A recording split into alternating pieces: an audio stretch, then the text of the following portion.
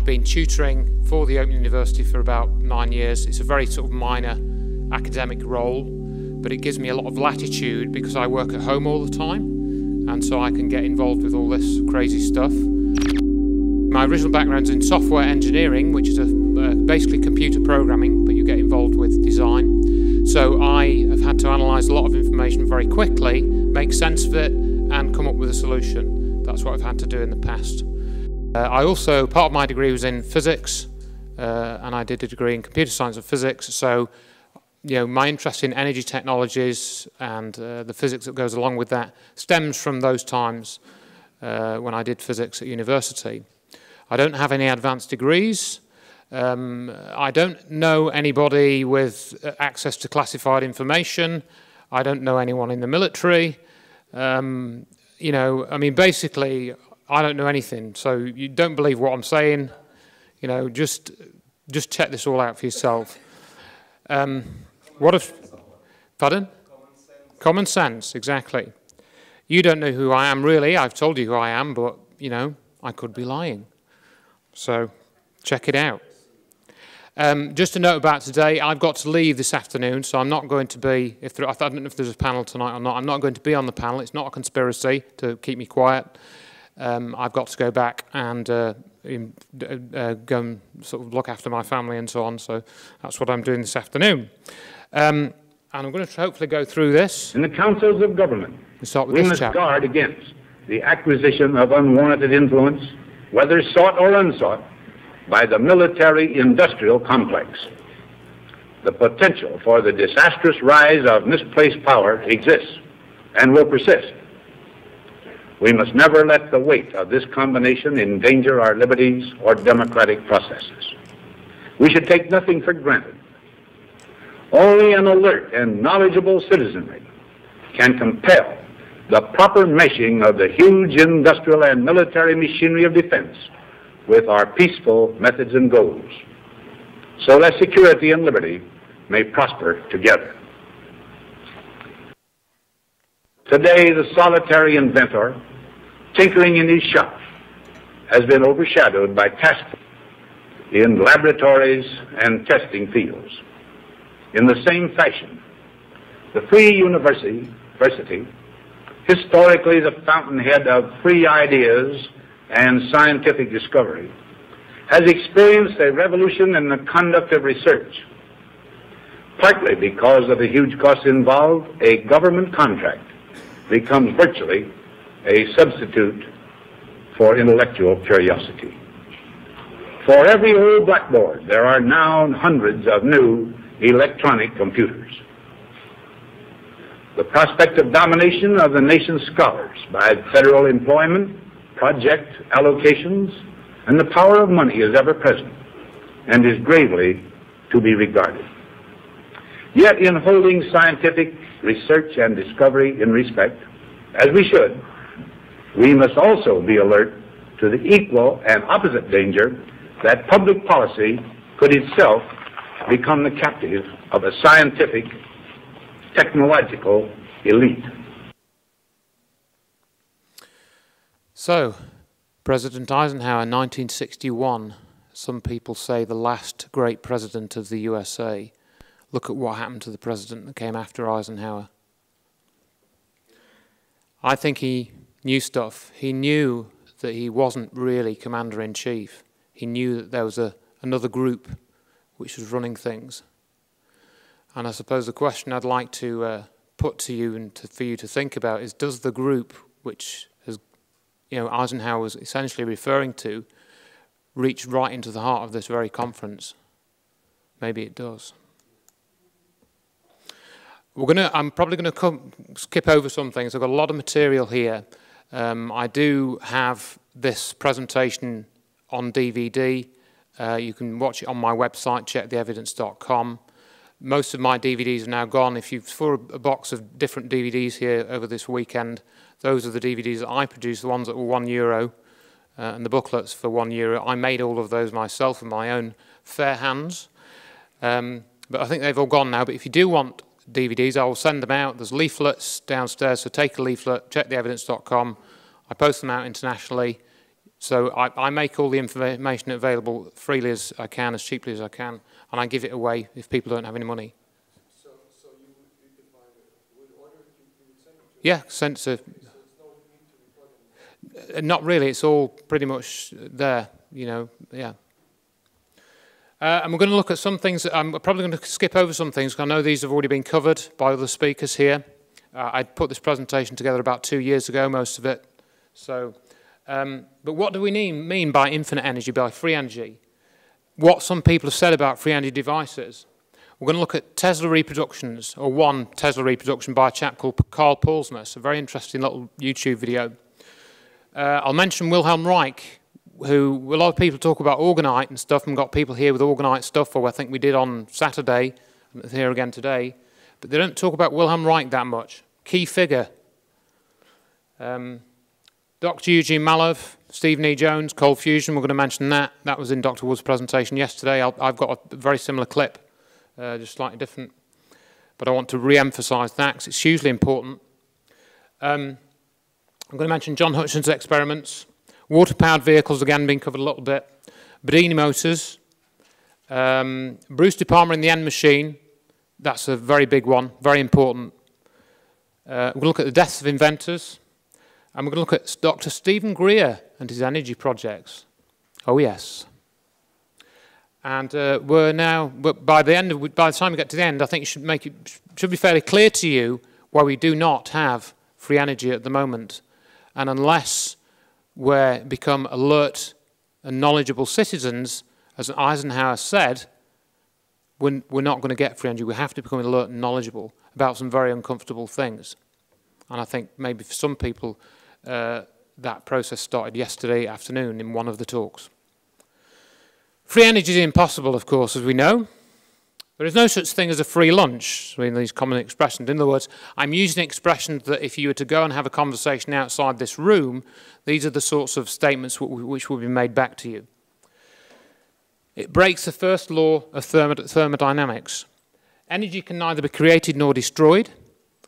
Heat and mechanical work being mutually convertible. If someone had created a free energy device, they'd be a billionaire. That's the common one. We all want free energy. So therefore, it must be you know, the most commercially marketable thing in the universe. So therefore, why haven't we got it? If, if, if you had a, a, device that you could run your house on, you know, forever for no money, you'd sell, you'd sell a, a million a day until everyone had got one, wouldn't you? So therefore, because we haven't got that situation, free energy doesn't exist. It's a simple uh, question of logic, is it not? Perpetual motion is impossible. And no one has demonstrated a device which produces more energy than is put into it and fed into it in some form.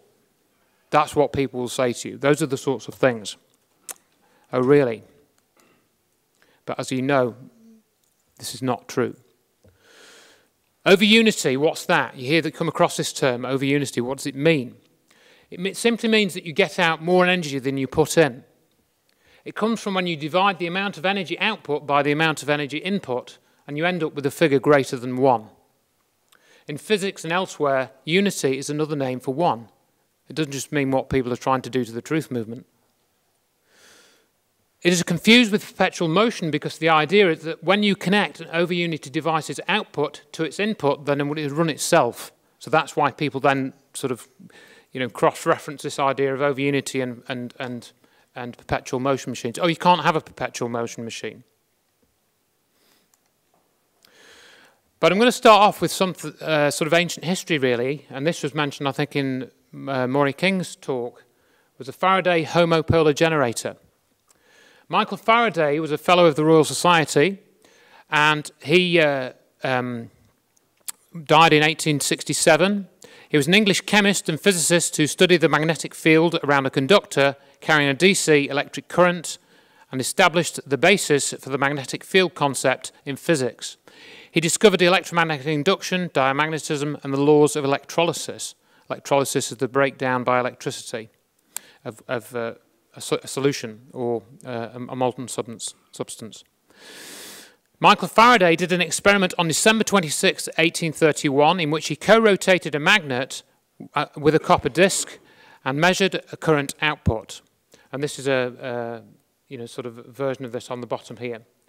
Um, even though he'd done an experiment, his own law of induction tended to ignore that the results of this experiment. His own law kind of couldn't explain what was seen in this experiment. Known for 150 years, the operation of the Faraday homopolar generator, whose current generation could not be properly explained, the world then later embraced Faraday's two-piece induction generator, whose drawbacks include mechanical friction and electrical losses, and that eventually became the current electric motor and also the type of generator that we use, and the rest is history. So this homopolar generator was one of these curiosities of physics which no one had really studied that much. And then, of course, uh, I'm not going to talk that much about Tesla because there's tons and tons of stuff out there about Tesla.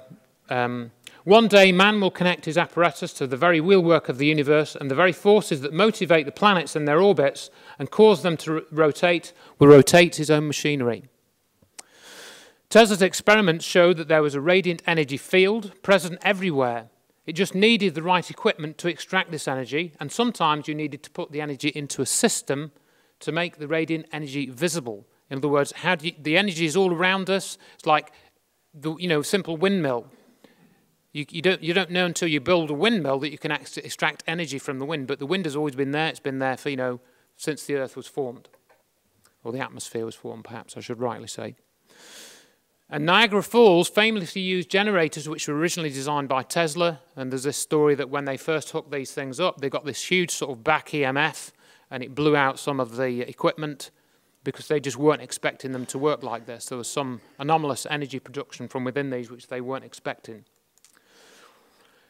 Now, again, you know, it's, it's a bit one of these expressions. When you start to look into these free energy inventions and so on, and you really start to try and take all the information in, it's, it's like drinking from a fire hose. There is so much stuff out there. Uh, one of the ones that I came across originally in the 1990s in a Channel 4 documentary, which I'm going to play a clip from later on, was James Griggs' hydrosonic pump. And as in common with many other devices, this had high-speed rotating components. And it's basically, you can see here, part of the hydrosonic pump, it's like a flywheel that's got holes drilled into it. And you rotate this flywheel inside a, a drum, an enclosed drum, and the spindle of the flywheel, you, you um, squirt water through it, and then the centripetal force sucks out the water into the gap between the drum and the end of the flywheel, and it has this effect of generating heat. And it's, it, there, there's some effect which goes on, and the pump is then 125% efficient. In other words, you get 25% more heat energy out than the electrical energy which goes into it. And this was taken apart by physicists and no one believed it and blah, blah, blah. But it was developed into a commercially available product, one of the few things that's been developed into a commercially available product. I think it's still available, but I've not checked recently. Um, magnetic sink circuit. Uh, Wilbert Smith designed a circuit to extract energy from the Earth's magnetic field. Wilbert Smith, I've got a whole presentation about this guy, a remarkable chap. Very few people have heard of him. Um, and he was a, became the superintendent of radio regulations in Canada and he got in touch with uh, aliens, basically, uh, or he didn't call them aliens, he called them boys topside. Very, very compelling, compelling story of Wilbert Smith, uh, and he, he also touched on free energy um, topics, essentially. And then I think yesterday, uh, one of his presentations on Friday, I think uh, mentioned Schauberger's repulsine, quite a well documented, documented device, which was funded by the Nazis. Uh, and some say it was developed into the Nazi saucer program. I'm not I'm not so sure about that myself, but um, some interesting bits and pieces there too. Okay, um, I'm just going to play this clip of Nick Cook, former Jane's Defence Weekly journal journalist. I think it's still not former, he still works for them, I think. Oops, let's see, if, or maybe I'll just clip over this, but uh, skip over this. Um, Nick Cook described how anti-gravity effects and zero-point free energy field seem to be interwoven. He's not the first person to do this. He was one of the first people that I heard connect, connect this in the way that he did. And it was very interesting to me because he was a defense journalist. Free energy or anomalous energy effects seem to pop out from devices spinning very quickly or having spinning components at high speed, greater typically than speeds like such as 20,000 revolutions per minute. In a typical car engine, you might get up to sort of 13,000 revs in some of these Formula One cars. But to see these effects coming out, you need to go a good bit higher than this. And Wilbert Smith did an experiment with a rotating disc at uh, this sort of speed as well. Um, devices using very high voltages, greater than 50,000 volts, you get these effects popping out. Um, using strong magnetic fields, you get effects popping out. And high frequency oscillations or, of electric current or magnetic field. These, you, you get this, these anomalous energy effects coming out of these systems. And there's, there's loads of them, hundreds, thousands. And I'm just going to show you uh, an example here. It's not, this isn't a free energy um, experiment particularly, but it's a reproduction of one of Tesla's experiments. And the point I want to show you is that this is a different type of electricity which is being shown in this experiment. And what we're going to see is essentially a 100 watt bulb held underwater being illuminated. Good afternoon. I'm going to show you a few uh, things that Tesla has sent to us. He goes into a bit ago. of a description, and then there's a bit of music books, while the experiment's Page running. 134, figure It's very loud. 19. You'll see the circuit right here. And also the same circuit can be found in his book, The Innovations, Research, and Writings of Nikola Tesla. In this book here, it's found in several places. The one we're going to be demonstrating today will be on uh, figure 183. Also, I've gained some of this information from uh, Gerry Vassilatos' book, Lost Science, and his other book, Secrets of Cold War Technology. Both are invaluable.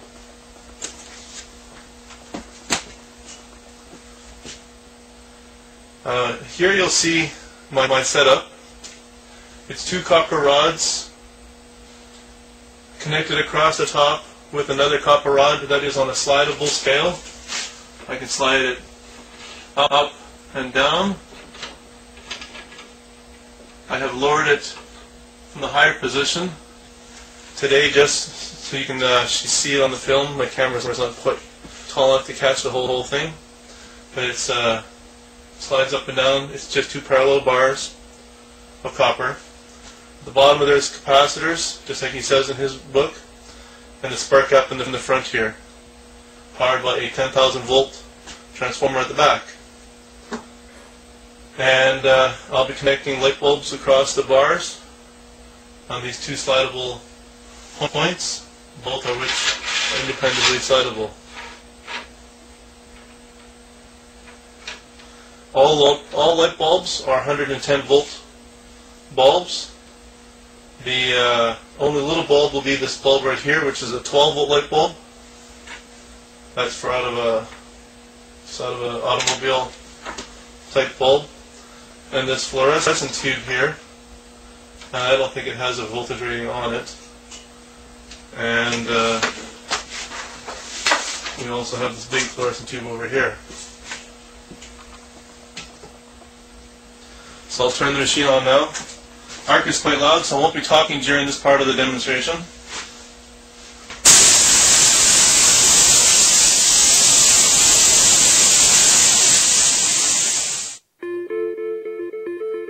Could, the bottom of this video appears to have been cut off because it's a uh, the aspect ratio of the screen is wrong, so you can't see the spark gap at the bottom. Just below uh, this bottom thing, there's a, another spark going.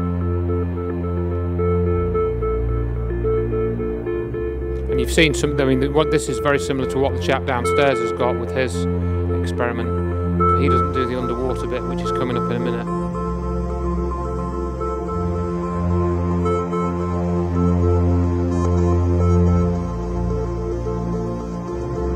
So you can go and have a go with this downstairs if you haven't already had a go with it. Something like it's very similar to this.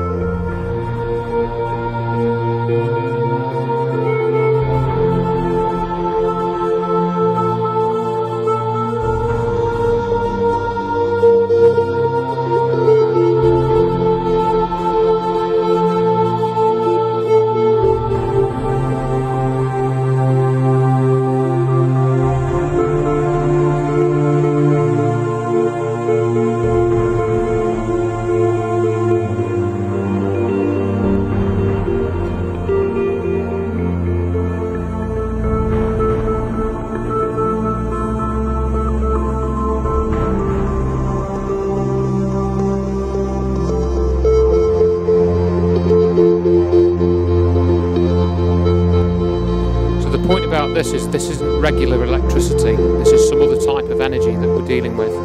Looks looks like electricity, but it isn't.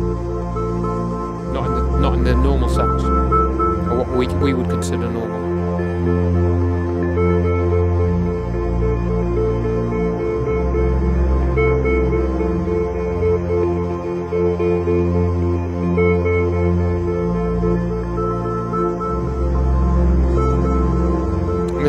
Experiment's uh, probably over 100 years old.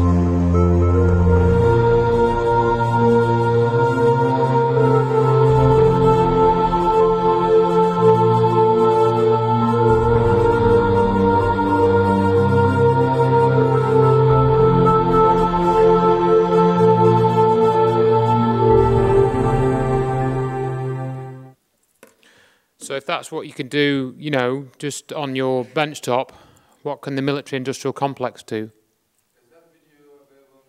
I believe so, yeah. Carl Paulsness is, I think if you Google that name, um, it was there last time I looked, which was a while ago. There's a few people have done similar things. You'll find similar reproductions. They've gone back to origi- Tesla's original notes and reproduced exactly how he described building the experiment. And Carl Paulsness is one of those. He's, you know, he's got quite a bit of copper there, and that's quite expensive. So you're probably looking at a couple of hundred bucks for, just for the copper in that rig that he had. Uh, Euro, or euros, I should say euros, shouldn't I? Correct, correct. Yeah, exactly. Right, so I want to touch on Wilhelm Reich. He doesn't seem to get an awful lot of airtime, and I'll mention, I'll, get, I'll mention him again in a bit. He discovered a form of energy called orgone. It seems to be the energy from which everything else is made. So, again, is it another form of etheric energy, zero point energy, vacuum energy? Undergoes all, it has all these different names, but it appears to be something underlying the fabric of our reality.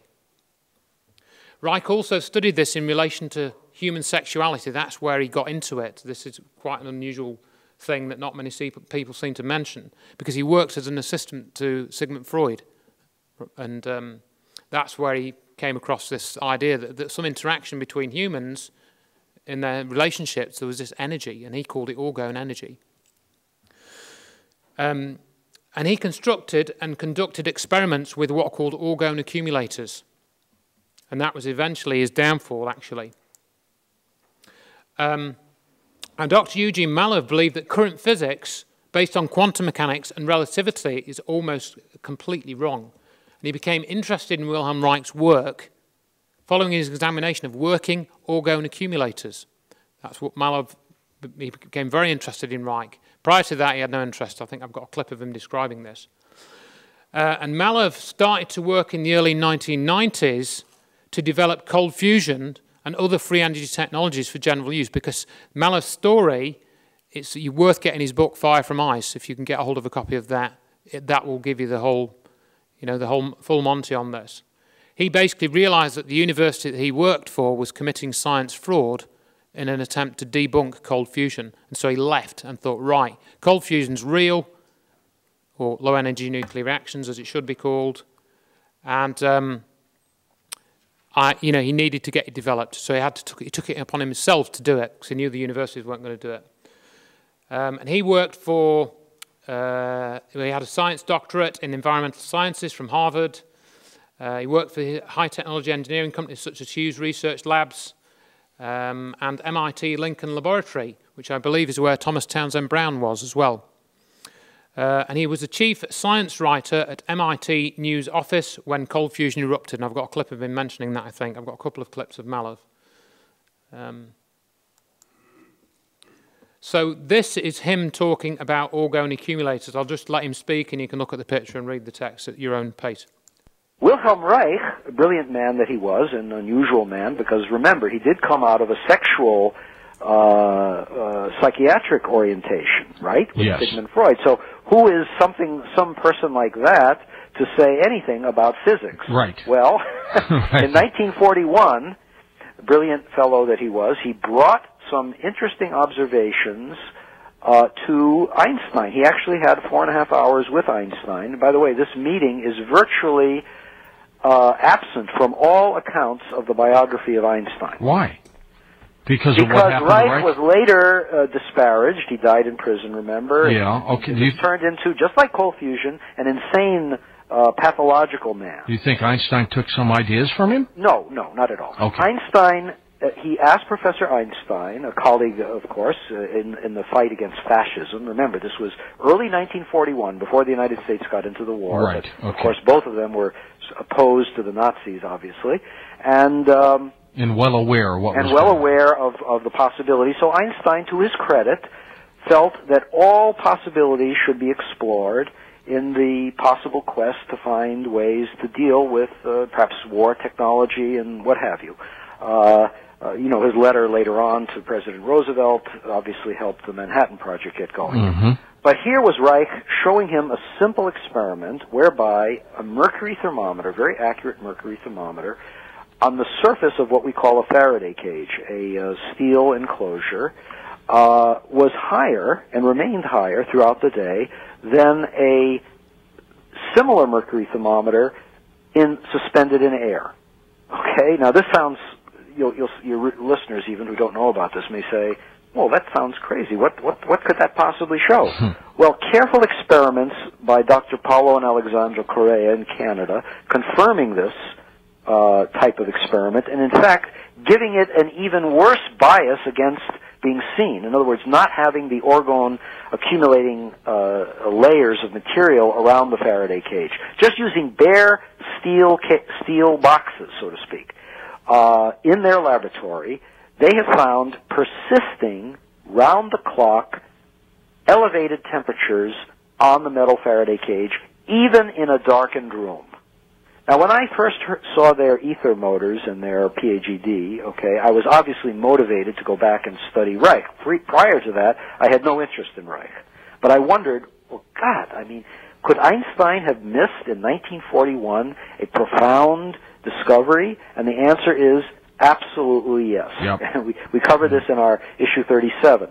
Uh, he brought it to Einstein. Einstein confirmed, I repeat, confirmed that there was a three tenths of a degree or more elevation on the Faraday cage. But his assistant, Einstein's assistant, Leopold Infeld, uh, poo-pooed it. He did some half-baked experiments to suggest that, oh yes, it's a simple ex- explanation as to why this elevated temperature is there. And he pu- pushed Einstein away from thinking about it, and thus broke the connection, the critical connection between Einstein and Reich, which if it had persisted, and if Einstein had behaved himself and continued the correspondence, Reich uh, can uh, Reich did write many letters, technical letters to Einstein, pleading with him to reevaluate the assertions, the glib assertions of Leopold Infeld. So Reich knew Einstein. He was right, you know, they were right up there with the top minds of the day. He was right up there with the top minds of the day. Now, all of Reich's books were burned. The only scientists whose books were burned by the people in the USA. And any mention of orgone had to be expunged from the literature, according to what I've read. So Reich is one of the key figures, and obviously, just to mention a little bit uh, about the cloudbusters, for example, Reich developed cloudbusters, which a lot of people who've looked at chemtrails have become familiar with. So there's various areas, and I could say the orgonite, which accumulates orgone energy, can have health benefits, and Reich essentially proved that. Essentially proved that by treating people, and people came back to him because they're having beneficial effects. But again, Reich is somebody that's worth looking into and reading up on if you haven't already done that. And then, of course, we come to this man, um, and uh, I'll basically got another audio clip here of this is me uh, and John Hutchison when I spoke to him in 2008. Uh, and there's a whole story behind that. I've got a whole DVD about the, that interview from 2008 with Dr. Judy. Um, so I'll just play this clip. You've obviously been playing with this for a long time, um, and I know you've been uh, through the wars, you know, at various times with uh, having your equipment confiscated and, and things like this. Uh, I mean, that, that I believe that's happened at least twice. Is that correct? Mm, no, main main time was 1990 when I was in Europe. It was the Canadian government that took the entire laboratory and tried to make a secret operation, but the newspapers found out about it and published the uh, the news. Okay. And yeah, that was. Um, but I've been rated before in Okay. 2000. Okay, and uh, one of the things that uh, you know we wanted to just check with you that I believe it was in 1983. There was a, a person called uh, John Alexander, Colonel John Alexander, in fact, who'd come to see you because he'd learned about what you were doing. I wondered if you could sort of mention a little bit about that. Oh yes, John Alec- Colonel John Alexander was um, 1983. He came with a team from Los Alamos, and he said to me that um, we're expecting a threat from, as I recall it, a threat from the Soviet Union, Okay. and that was a concern for the the American government. So I, I gave a demonstration for about um, four months, working with the team, and unfortunately, the there were some effects that happened, and sometimes it didn't. It seemed like the equipment was sabotaged, and I learned from yet another c- lieutenant colonel that um, a fellow by the name of Bob sabotaged the entire project. So John Alexander was a little upset over that, and he brought in another team from McDonnell Doug- Douglas to do a clear, um, not classified report, which I still have that report. And then after that, of course, uh, the Canadian government did their experiments and kept it um, a matter of national security. Of course.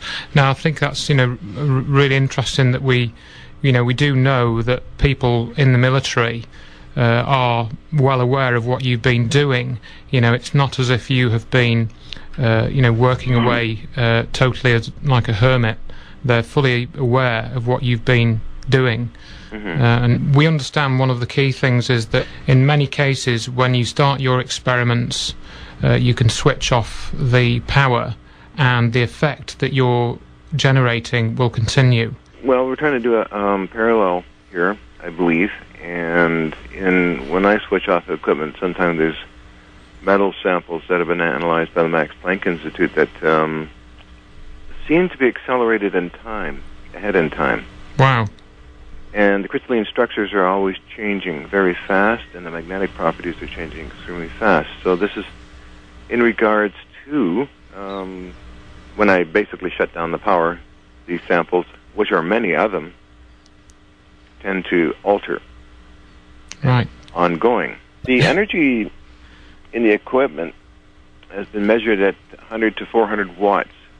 And when I was giving a demonstration for um, Maine News, the newscaster accidentally chopped the extension cord in half by accident and shut down the entire lab. So that's Wow. around 400 watts, the lowest power. And if I'm using more modern equipment, it, of course, I'm up to maybe 1,000 watts energy to drive the systems and that. The mayor of this city came here, and he's a couple of years ago talking with me, a friendly fellow, Mayor Wright of New Westminster, and he was talking about um, he's giving reports of concrete cracking up, as well as citizens in distress.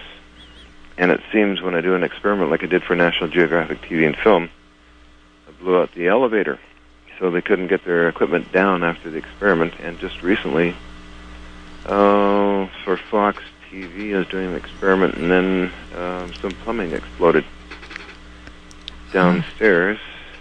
But I, I take in consideration too that when I was doing the McDonnell Douglas experiments, that we had a, a water main explode in out in the street. So that's written up in some of the text. So I've been through a lot of mischief. I think one point I wanted to just uh, dwell on for a second is that uh, w- you know we Judy and I we we watched the inter- the internet forums quite closely, and there are quite a number of people who are saying you know. Oh, John Hutchison can't reproduce the effects which he's, you know, makes, and and I wondered, you know, what your response would that to, would be. I almost feel silly asking the question, but uh, I you think know, they, they honestly, I think they don't listen to radio or watch TV or read books because I've been doing this quite regularly uh, for Fox TV in 2000 and onward up for Griffin Productions as well as National Geographic TV and film and onward with many, many different crews have come and gone out of here and I can sit down, turn everything on, and guarantee an effect within five minutes. So whatever they're reading is maybe so old that they just don't bother researching. That's what I feel.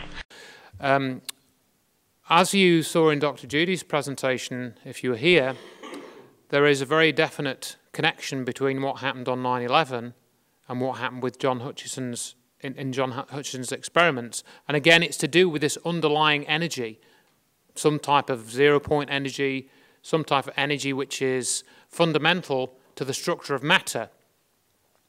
And since 1979, John has been doing experiments trying to initially to reproduce the work of Nikola Tesla. And he was using what are called electrostatic fields, which is the with a, a, uh, uh, static field is like when you take off a nylon jumper or you stroke a cat and you get this electrical charge building up. That's a, electrostatics. And inter he interacts that with magnetic fields and microwaves from microwave generators and from RF generators, radio frequency generators. Uses these in various combinations, various frequencies, various cycles, cycles them up and down. And when he starts to do this in the region of interference, he produces effects such as the jellification of metal, metal turning to jelly, with almost little or no heat, or even cooling down in that process. Bending and fracturing of metal, lift, levitation, and disintegration. So samples will fly up in the air, things even have, have disappeared. Transmutation, which is one element changing into another, one metal changing into another, which Dr. Wood touched on in her presentation. Fuming of samples but it's not necessarily smoke that's coming off. And disappearance, as I said. Fusing of dissimilar materials, again, you saw this with Dr. Wood's presentation, where you've got this sample of metal and wood melding together, but without heat. So what's going on? Now, I'm going to play, hopefully this clip will play this clip of uh, Pons and Fleischmann, which is similar to the clip that Dr. Wood um, played in her presentation and this is hugely important to the history of the energy cover-up, hugely important because basically, without reading out all the text, this is when the concept of free energy started to really get into the heart of the academic community. And they had, they had to pull out all the stops to stamp out this fire it became very serious because it lasted for a period of two years. And I became very interested in cold fusion in 1989. In fact, when I got my first internet connection in 1996, it was one of the first things I did research on. That and the UFO issue is what I did start to do research on. And it turns out, of course, that these two things are connected, the energy issue and the UFO issue, which I'll get to later. Um, Pons and Fleischmann did an experiment. It was basically, uh, they were chemists, okay, and they did a, an experiment in what's called electrolysis. Electrolysis is a method where you pass electricity through a solution and it breaks down that solution into different compounds, into different elements and so on, and different uh, components. And they found with this particular uh, solution that they used, which was lithium hydroxide and uh, deuterated water, um, that's heavy water. It's got water with extra neutrons it, extra particles in the nuclei, of the water molecules, they observed that under certain, under certain conditions and at certain times, but it wasn't 100% repeatable, they could maybe put 100 watts of power in, and then when they did measurements, they were getting 200 watts of power out. And then there was all a big, a, a massive outcry over this because they were saying that they were detecting uh, elements of a nuclear reaction. Primar primarily, as John Bockris explained in the clip that Dr. Wood showed, and then in the clip that I had, something called tritium. Tritium is only produced in a nuclear reaction. It's, you can't produce tritium in a chemical reaction because of the nature of the material. And tritium is, a, is a, an isotope of hydrogen. It's a hydrogen nucleus, uh, a single, which is a single proton with two extra neutrons. Right? I know I'm giving you a bit of lesson in sort of nuclear physics, but it's, it's, it's the only way to explain it, really. Um, and they also got what's called transmutation. So after several years of research into this, and this was primarily done by other people as well, as later really, although Pons and Fleischmann, I believe, did get some transmutation, they got, they start off with a palladium electrode, and then they'd find that it had copper in it, and it had zinc in it, embedded in the electrode. Where did this copper and zinc come from? And so this was, this was they, they were said that, you know, the, the, the samples got contaminated, you know, that uh, somebody had actually put in the material to contaminate the sample deliberately. There was fraud and so on. And um, so this, this whole, you know, this raged in the academic community for two years because it looked, there were reproductions. Some universities reproduced it and they were able to get what's called the excess heat. In other words, when you get excess heat, it means you get more energy coming out than going in, and this breaks the laws of thermodynamics. And John Bockris in that clip yesterday, if you saw him, he said, we're breaking the laws of physics. And the, because we're chemists, the physicists won't, don't, don't like that. When a chemist comes along and says, we've done fusion in a test tube or in a beaker, they'll say, get lost. You can only do that with a huge, expensive $20 billion project with, which you know, needs plasma physics, it needs a huge, expensive reactor called a tokamak reactor, and so forth. You can't do it in a, in a, in a beaker for you know, $200. You, you know, no way. It's just, and I know, because I'm a physicist and I know everything. So you must be wrong. But then you find, for example, somebody like Stephen E. Jones comes along, Stephen E. Thermite Jones, for anyone that's done any 9 11 research, his mate, my mate, Thermate, Marmite, Thermate Jones. He comes along and says, Ah, actually, folks, and I was describing this to somebody this morning, I've done an experiment with cold fusion as well, and it's called muon catalyzed cold fusion. And I found that, yeah, it's really quite an interesting effect. You get, you know, you can get this energy, excess energy, but actually you can't, you can never use it because my experiment has proved that it, it, it, you're never going to be able to get the energy and use it in a machine to drive a generator or something like that.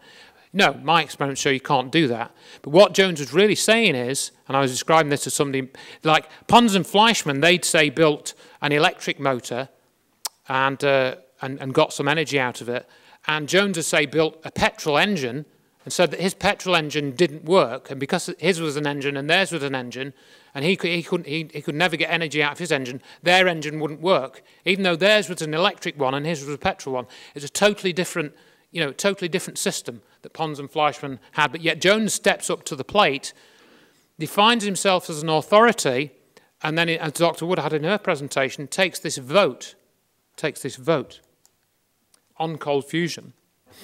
So this went on in the academic community in the 1980s and into the 1990s. And as I say, Dr. Eugene Mallove was one of the prime movers in this, and you're going to see what happened to him uh, before too long. And Jones then appears on the 9/11 truth scene in 2006. Uh, sorry, in 2005, just after the NIST technical reports about the destruction of the World Trade Center had come out. So that's when, and when somebody sent me a link that this Jones character was involved in cold fusion, which I wasn't aware of until 2006, then we knew, and this is one of the central things, I think it should be one of the central things of this whole conference, that the 9 11 issue and the energy issue are deeply connected. And somebody here was arguing, I think, that, oh, it doesn't really matter. We know that the Al Qaeda story is not true, so that's what we need to agree on. No, that's not, that's not the key issue. The key issue is to understand that 9 11 was a free energy, a demonstration of free energy technology.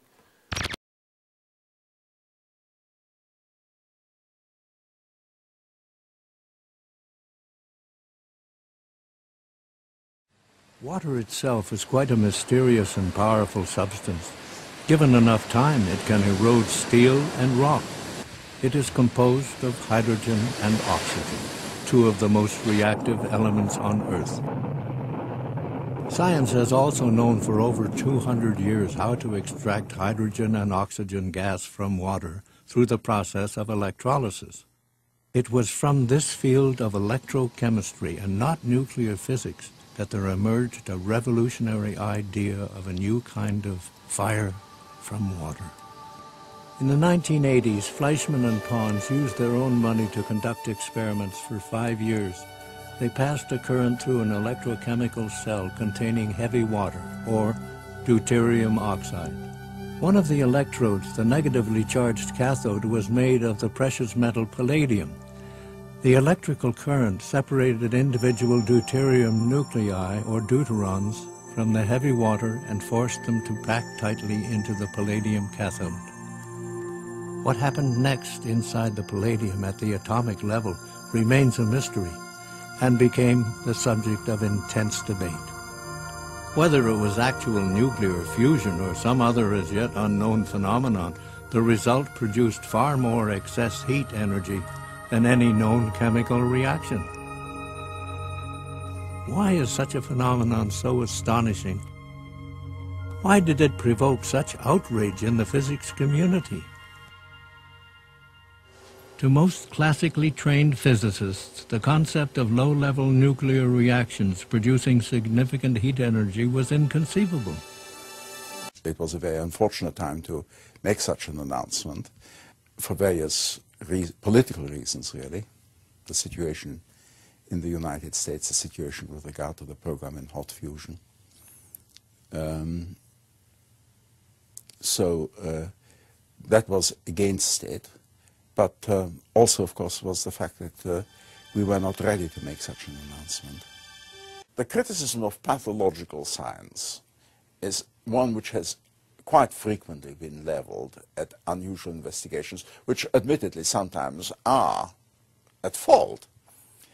However, there is also the, the situation that people will criticize a field uh, long after they should really have given up. And that is pathological criticism. They just get trapped in a situation. They have made a criticism. They have to maintain that criticism against all the evidence. At Texas A&M, a group led by Professor John Bockris, who is widely regarded as one of the world's greatest electrochemists, reported finding the hydrogen isotope tritium, a key signature that some unusual nuclear reaction was going on.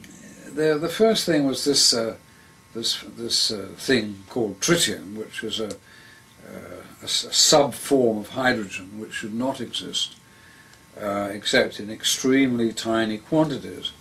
We found that by working these uh, cells of Fleischmann and Pons uh, containing lithium hydroxide and deuterium oxide that we could produce this tritium in great abundance.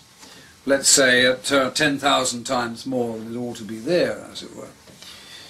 And um, let me let me stress that we couldn't do it every time, but about one result in five or one result in four, and eventually we worked up to two results out of three. Um, we could produce tritium. That was the first thing, and, and in a way it was the first clear proof of the phenomenon. At Texas A&M, Bockris's group found themselves under attack. Science magazine writer Gary Taubes wrote a stinging article that insinuated that someone in the group had spiked the samples with tritium. Although unfounded and eventually proved untrue, the allegation effectively dampened Bockris's remarkable claims. Well, I was 69 years old at that time. I took the attitude, suppose they fire me, right? It doesn't really matter. I had my career. The worst they could do would be to say, go, your tenure is withdrawn. And uh, therefore I wasn't frightened. And I went on saying the truth and publishing what we'd got. And, but finally the university uh, revolted against this. And they set up an inquiry, uh, they called it rather sinisterly. The accusation was that I had carried out misconduct of research, you see, they shouldn't have worked on these things. And they decided that the accusations were totally groundless and they published all this. But then they started all again about six months later and they had another committee. It was this time uh, when my lawyers asked the university what the second inquiry was about, they were told it's an ad hoc committee. What's that? Um, we have nothing further to tell you. And so this went on for 11 months of uh, constant meetings and inquiries and so on. And I'm quite sure that uh, they were trying to find an excuse to end my tenure, you see. Finally, they came out uh, okay. I mean, they gave me another letter. I'd had the letter of complete exoneration. This time it said that they had uh, spent this 11 months and had found that I had never done anything, the phrase used were, uh, that contravened the rules of procedure of this university, or something rather formal and stuffy like that. But I think the main part was that I had done work which was against the paradigm, and that was what they were really upset about. You know, people said that they'd been to other universities and people had laughed at it and said, what the heck are you doing, trying to disprove the laws of nuclear physics? And of course that's exactly what we were doing, and succeeding, you see. Even though positive results were still coming in, the Department of Energy's negative report effectively killed congressional funding in the United States. Fleischmann and Pons later packed their bags and left for France. to carry on private research sponsored by the Toyota Corporation. By 1992, we had video recordings of intense energy release. By the summer of 1994, we had demonstrated sustained energy release. That, of course, if you say you want, you wish to make this into a device, required further research. And we were always working on a time frame of trying to get to that point by about the year 2000. And I think that if the resources had been available, we would have got to the year, to the, that particular point, probably before the year 2000. But uh, this did not happen. Yet as early as 1992, cold fusion experimenters began reporting unusual appearances of trace amounts of different metals such as copper, silver, chromium, and zinc when examining their spent cells. Rechecking for possible contamination, scientists like Bockris and Miley confirmed that indeed new metals and isotopes were being formed, transmuted, during the process which produces excess heat. Kevin Wolf made many measurements of tritium. Then he got some even more astonishing results as early as 92, which were these transmutational results, the, the metal forming another metal inside the electrode, you see, which was super, super anti-paradigm.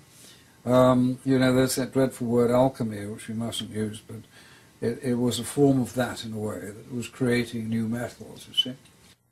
In Japan, Tadayoshi Omori and Tadahiko Mizuno at Hokkaido University have produced volumes of data under rigorously designed experiments showing the production of metals ranging from iron to platinum and beyond. The Omori cell using a tungsten cathode has consistently produced excess energy along with measurable amounts of transmuted metals. So that's a very quick summary of the story of cold fusion. Yes, it was reproduced many times and has been since those times, but it takes expensive equipment to do it. It's not something you can do in your garden shed. It's not a 100% reliable process, but it does work. And you think if you can transmute one metal into another, what if they really can turn lead into gold in large quantities? And as I say, we've got uh, Stephen E. Jones talking about cold fusion. Since Pons and Fleischmann were both well aware of the pitfalls of premature publicity, why would they bypass the accepted conventions of the peer review system and announce their discovery through the media? I was thinking these guys are not no fool. They know what they're doing. These are good scientists. Prior to the 1989 announcement, Stephen E. Jones, a physics professor at nearby Brigham Young University, learned of Pons and Fleischmann's work through an informant at the DOE. In a flagrant example of shameless opportunism, Jones insisted on going public quickly with his comparatively much less clear results. Disparaging the excess heat claims of Fleischmann and Pons, Jones' announcement would have effectively prevented the two scientists from patenting their process, a process they had developed on their own over long years of research. Is it a short... So, so Jones was essentially responsible for killing cold fusion, or he's one of the main people. It wasn't just him. So he has been responsible, for example, I, I posted an article when F Fukushima happened last year. We don't need nuclear energy. This can be developed into a source of energy. And I would contend that black projects have got this energy, or something like this. And somebody like Stephen E. Jones, he's essentially at least partly responsible for things like Fukushima happening.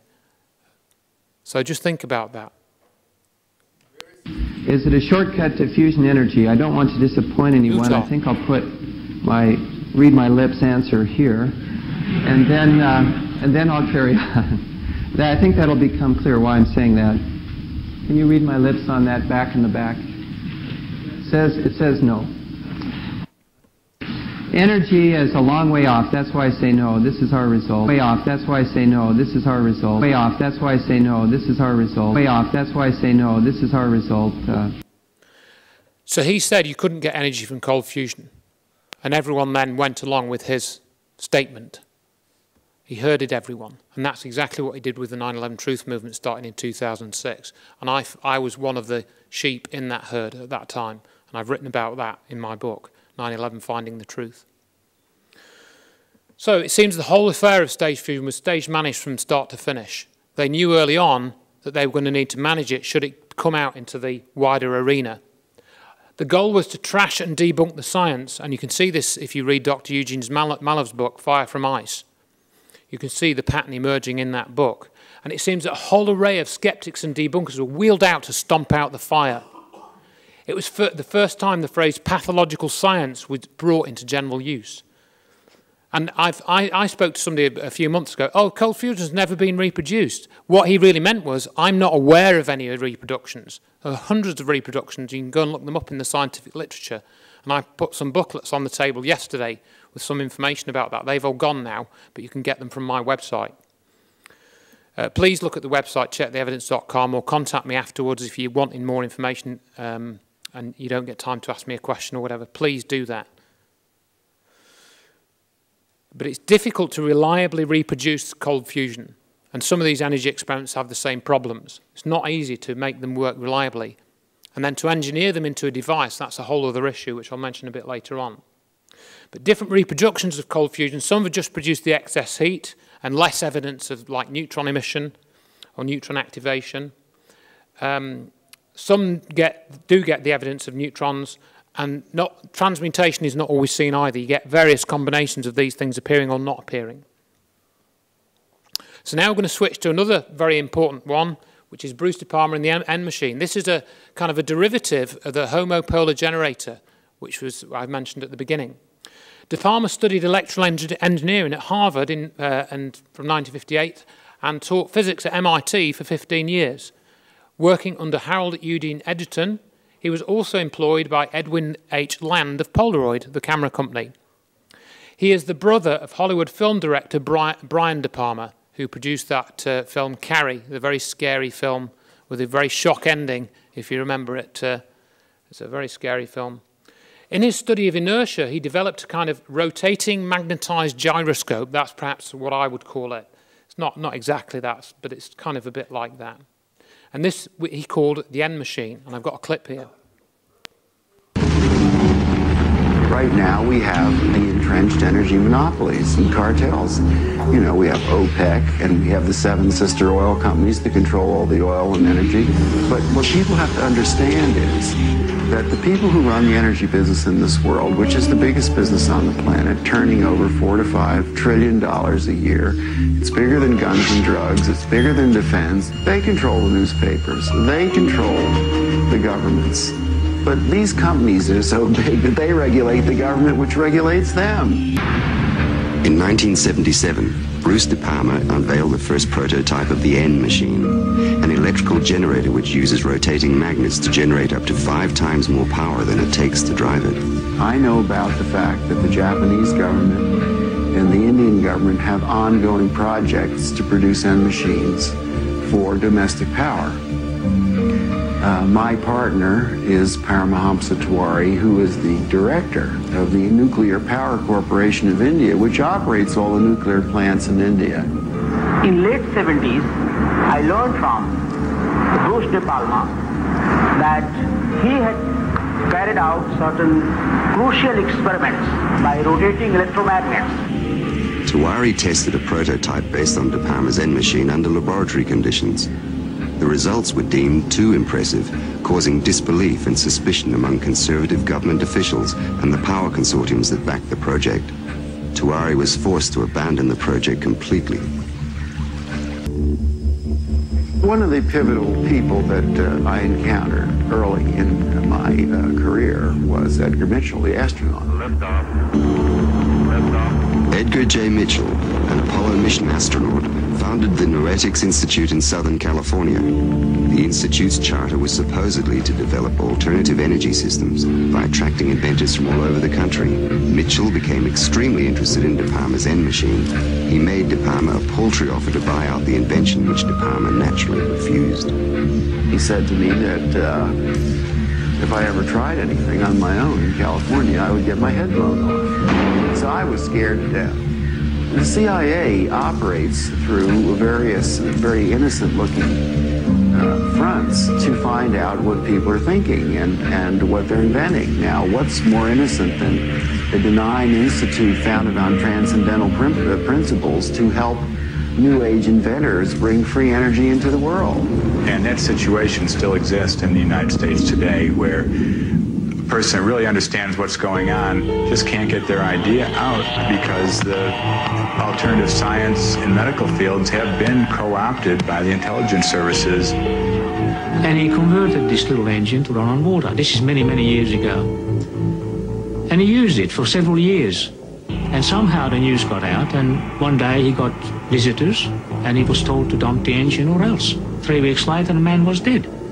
And the coroner's finding was that he fell off the back of a train. He was drunk. Now, it happened that he didn't drink.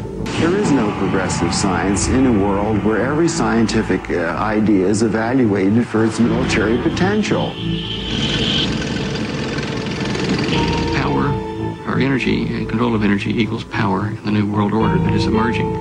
If you control the energy, the way we get around, the way we get electricity, the way we have our TVs and video cameras and stuff, if you do the control of the energy, then you've got control of the people. That clip actually pretty much covered all of it. Control the energy, control the people. And as Bruce De Palma said, and we're going to come back to this, what, what about setting up a group based on transcendental principles to bring free energy to the world? We're going to come back to that. So, Bruce De Palma himself, I mean, the, he does have a website, and I suggest you go and read it, brucedepalma.com. And there's some very interesting emails and stuff that you can download between him and Adam Trombly, I'm going to mention in a minute, about this whole business with the N machine. Now, if you go and read various web pages about the N machine, you'll come up with some interesting things. For example, um, yeah, Bruce De Palma died in uh, 90, I think it was 1997, which again I'll mention a bit later. This was not a surprise, his death, considering the condition I had seen Bruce in when I visited him in December 1993. Bruce began each day upon arising, sometime before noon, with fine wine mixed with sparkling water. Years of alcohol and substance abuse finally took its toll.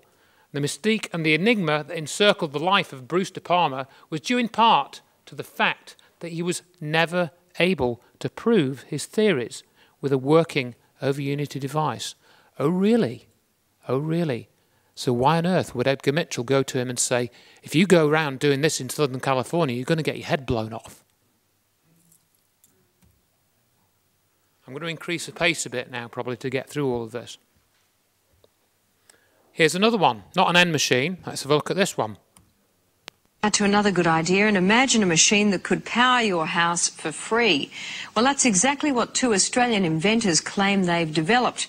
Using magnets and a battery, their new generator has been described as revolutionary and foreign investors are lining up for a piece of the action. Chris Allen reports. So, John, this is the machine? Yes, this is it, Chris. What's it capable of? Well, it'll, it'll power a house. This will, the machine will provide, provide sufficient electricity to run a house and have power to burn. It sounds too good to be true, but inventor John Christie is convinced his machine will change the world. So, John, basically you're saying this machine can produce five times as much power as it consumes? Yes, it, it does. Uh, this one, exactly as we see it, it does. And in fact, it can produce more than that. Once kick-started from a battery, John and his partner Lou Brits say this prototype will run for years without stopping generating 24 kilowatts of power a day. You don't get more revolutionary, I think. I mean, we're talking about something that has the capacity to change the way that the world produces its electric power. It has the capacity to change the way that motors cars are, uh, are propelled. You can, you can replace the combustion engine, in fact. John, these are big claims. Are you sure you can live up to them? We don't really need to live up to them, Chris. What, what the the technology speaks for itself. I mean, a householder could buy one of these machines and install it in his garage and power his house forever without buying another kilowatt from a retailer. I mean, that's how serious it is.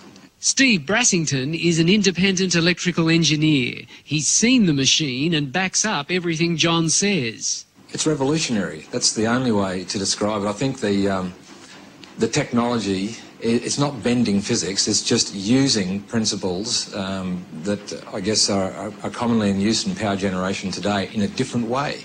These guys have thought outside of the square. Basically, it's magnetic attraction and magnetic repulsion that provide the movement or the moment of the, of the motor. Can you understand why some scientists are sceptical about it? There is no physicist or, or engineer who has looked at our, our um, motor or has looked at our figures who says it doesn't work. Lou is an electrician and John a businessman in Cairns in far north Queensland. The two unlikely inventors have been tinkering with their machine for six years. They've applied for an international patent and have been swamped by people wanting a piece of the action. The, uh, these are the coils. We mentioned the coils don't get hot. Mm-hmm. Local businessman Alex Roma is one of the many offering money to help develop the generator. If it proves up to uh, to be uh, what they say it is, it certainly would be something I'd uh, invest in. John has also spoken to millionaire inventor George Lewin, the man who came up with the Triton workbench and who's now setting up a fund to stop Australian inventions going overseas. There's an opportunity here, I think, to share an invention with the world um, that is beyond anything that we've ever contemplated before. Scientists here at the local university say while they're interested in John's machine, they're also cautious. They say if the machine can generate as much power as John says it can, then they will have to rewrite some of the laws of physics.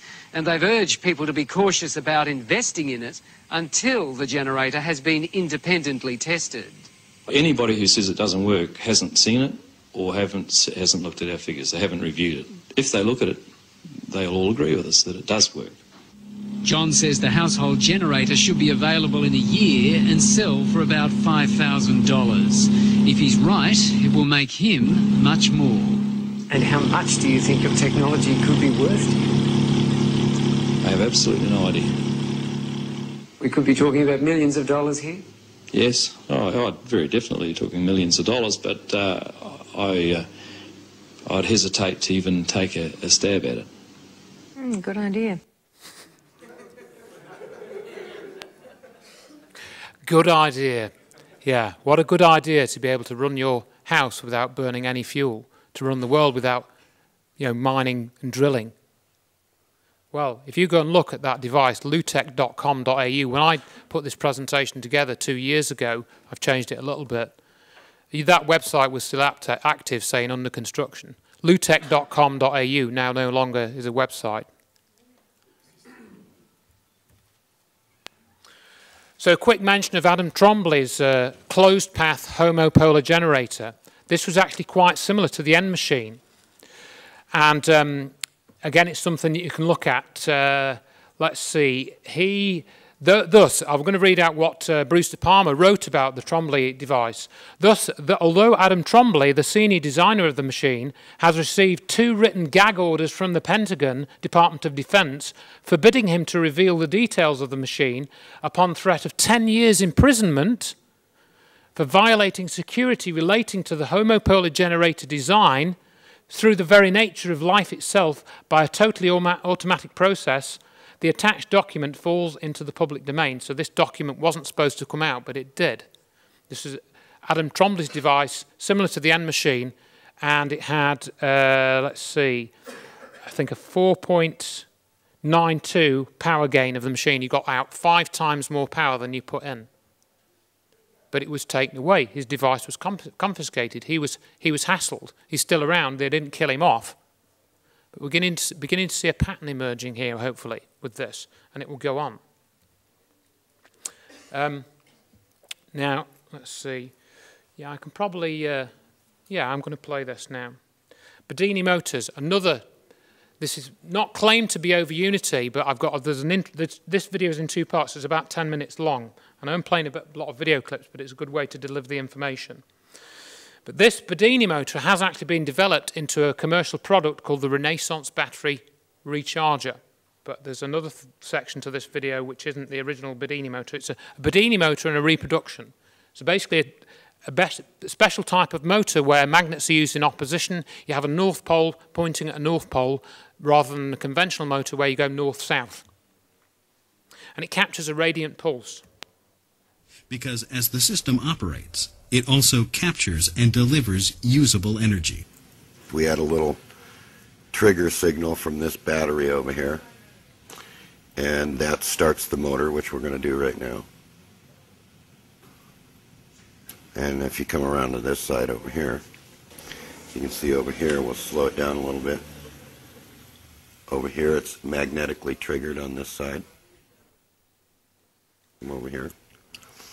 So each time one of these things goes around here, it puts a little tri trigger signal into these coils. And um, once we get the trigger signal in there, then what we can do is we can, each time this triggers, you know, turns on and turns off, we can collect the charges that would normally be wasted. And of course they go into these banks over here, these capacitor banks, and then this is a timing mechanism here, which uh, it's timed to be about once every second and a half or so, and makes contact here after we collect the charges. And then these capacitors here are dumped through this electronic switch here and you can you can actually see the dump here. You watch it and it'll bounce up when it dumps so if we slow it down a little bit so you can see it see it's it's bouncing around here each time that dumps down the capacitor bank discharges into this battery. So this battery is going up. As this mechanism uh, triggers here, these are coils. Okay, so the first thing that happens is it wants to repel the magnet like you see it doing here. Okay, it's because it's turning. But these are, are trifilar wound coils, meaning that they work like a transformer, but it's not exactly a transformer because they're one-to-one. So the only thing that can go through this transformer is the radiant spike. And the radiant spike is collected in these condensers. And if we put the meter on it here, so you can watch it, you can watch how the spike is collected. You see? goes up and down because it's charging and discharging. Now watch, we'll switch condensers. And this one will charge slower. See, and you won't see much of a discharge. When move to this one over here, it charges much faster. When you hit that battery with the radiant energy, the battery takes the energy from the vacuum in the chemical process and converts it to something that's usable at a later time. In other words, it's a triggering mechanism. You have to trigger your circuits to produce a radiant spike, and then the radiant spike, when it hits the chemical action, sucks the energy from the vacuum. And that's what's charging the battery. Breaks it off. After radiant charger charges batteries, it's a little more difficult to charge with a conventional charger takes a longer time after that. So there is an alteration that takes place uh, from using this form of energy that takes place in the chemical composition of the cells. You know, and once it's attuned to this way of charging, the battery accepts the radiant charger much faster each time, higher power density output each time, so a 33 amp hour battery might look like a 65 amp hour battery. The difference is radiance, one form of energy, EM as we use today, uh, you know, electromotive force energy, isn't capable of charging this sulfated battery because it sees nothing. It sees an infinite resistance. Okay? Radiant energy doesn't, being that the energy is like 100 times or 200 times what the sulfation process is. Here, you can look at it again. Now it's brighter. See? And it'll keep doing that. The sulfation will come right off the plates. And the battery will become a pretty good battery again. You can see here that there's eight magnets. One, two, three, four, five, six, seven, eight. They're all North Pole. There is no South Pole. This motor does not switch back and forth. It is, and it's a, it's an attraction motor. It's not a repulsion motor. So every time that it's attracted in, it fires like a magneto. Then the electronic circuitry decides to fire, but see, it's out of range when it fires. It's at like 23 degrees after. So when it fires this field, the field is big and pulls in the next magnet and it repeats the same process. So we want to do this as quickly as possible. So you see one, one pole here, one pole here, one pole here, one pole here, one pole down here, one pole down here, and we want them all to fire at the same time. So if you look, all the magnets are lined up to fire at the same time in this direction, and then when the motor moves over here, all of them are lined up to fire in this direction. Once we do that, this is what we can do. Then we got a self-pulsing motor with torque. Good day to you. I've decided to use the name for this particular experiment as Daft Man, because I must be daft to get involved with this kind of thing in the first place. But after seeing a few videos on YouTube, I, I started to get a bit inquisitive uh, and decided to go on, I'll have a go then. Um, let's see what all this hype is, whether it works or not. So here we go. Um, I've actually got two coils. I don't know if you can actually see that. 22 SWG, 26 SWG, and a 28 SWG. 500 turns. That's 500 turns. Bipolar. I think that's what you lot refer to it as. On that on that coil, and the same on that coil. Now, as you can obviously see from what I've and what I've just said, I've got three tapped outputs. One is the actual pulse, one would be the trigger circuit, and one is a generation circuit.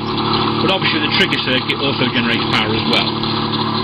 Same with that coil there, exactly the same as what I've just described. Uh, underneath, I don't really want to tip it up, but underneath, I don't know if you can actually see that, there's some magnets flying around. It's just tripping um, reed switches. So the uh, the only difference with mine is you've probably seen that capacitor at the back and wondering what that's for. Right, well the first motor, which is the, the, the drive motor, which is what I refer to it as, just so for clarity, actually drives, uh, the outputs of those go down into the bridge rectifier here, which then goes off and charges that capacitor. It's quite high voltage at the moment.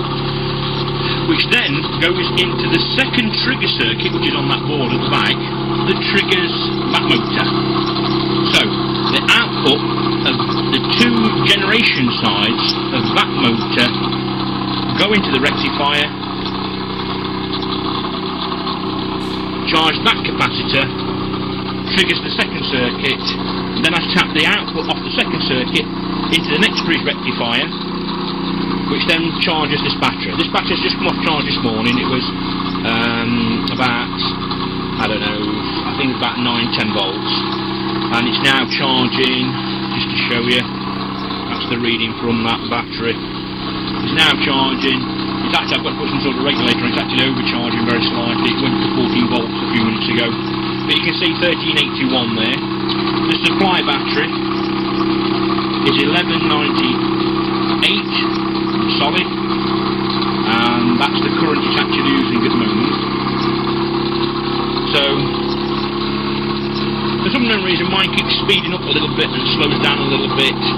Uh, I'm assuming it's when the capacitor starts using the, the current and it, it, just seems to do this sometimes. I don't know why but uh, something I've got to look into maybe it's just a bearing that's starting to wear or overheat it has been running for God, it's got to be running for months now, non-stop this house.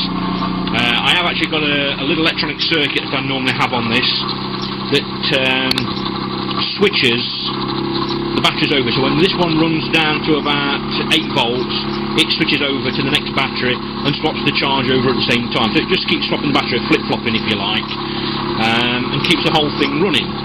The problem is, if you let the batteries run too low, and I've noticed this, if I let this battery here run down to about 2 volts, and then put a new fully charged battery on, which is what I normally use a pair at the back there, and I let them charge up, I find that it doesn't charge that battery back up fully. So over a period of time, the whole thing comes to a grinding halt. If I reset the voltage detection for the switch circuit to detect the voltage drop at about 8 volts, and then swap over, the thing will just run for months. I've actually had to stop it in the end because it's just getting on my nerves, it running it back at the shed. So it's actually been running for many months, um, and I've only just finally plucked up courage to put it on YouTube, if you like. So that's a lovely chap from Northling that I don't know who he is. The key concept, that, or the key thing in that video, the first one with John Bedini, he was just charging one battery and then taking the battery off and charging another battery and just running the motor off that. That daft man, as he called himself, he'd put in an extra bit of circuit such that the battery that was driving the motor would then be switched to be the battery being charged uh, every so often and when the voltages became the right way. Now that daft man channel, the YouTube channel, no longer exists. Unfortunately, I didn't get in touch with him before it was taken down. So we're going to come back to this thing about YouTube channels being taken down. Um, Okay, we're going to probably run short of time, but um, Stan Meyer's cell as well. This is a, an extremely interesting device. Uh, I think was mentioned on Friday, and this is also an electrolytic type of process. And I think uh, it is thought to produce hydrogen, and, and, that's what is claimed in this video clip. Um, but it may be some other gas, not hydrogen. It just appears to be hydrogen. But the again, the energy released from burning the gas which the Meyer cell produces is greater than, the, than that which you use in the electrolysis process. That's the thing, and this has been measured. And, and, and Stan Meyer, he got international patents in several countries. He demonstrated it multiple times over. Several people have reproduced this. Well, it was during the uh, oil embargo of the United States. It alarmed me that a little country over in the, in the Far East could actually cripple the United States and realizing that the entire industrial base of the United States and, and the world is based on the supply and the utilization of energy. It became imperative that we must try to bring in an alternate fuel source and do it very quickly. Of course, I thought originally with the right type of funding, uh, we could possibly get it in within six months, but uh, reality shows that the, the 12 to 15 years was more uh, correct in this projection. Back in the 70s, Stan Meyer set out single-handedly to solve America's energy problems. He decided to do it using water, the world's most abundant storehouse of hydrogen, which is a far more powerful fuel than oil. For 15 years, Meyer has been fighting to get his inventions taken seriously. Most inventors uh, have to be a loner. You have to be somewhat thick-skinned and don't rely on other people to support you because they will not more times than not, uh, an invention is really stolen from the inventors. Even in my prior development of high technology, I've had uh, patents uh, taken from me. I learned from the School of Hard Knocks to be very cautious. Meyer has always stood out against the crowd. He has no formal qualifications as a scientist because he didn't wait to graduate from high school, leaving early to go straight into research at the high-powered Battelle Institute in his native Ohio. Now he works full-time as a private inventor. He's built a device with potentially revolutionary implications. There is nothing startling about a machine that can extract the hydrogen from water. What is highly unusual is that it should do so with ordinary tap water. The conventional method is called electrolysis. Meyer has turned that process on its head.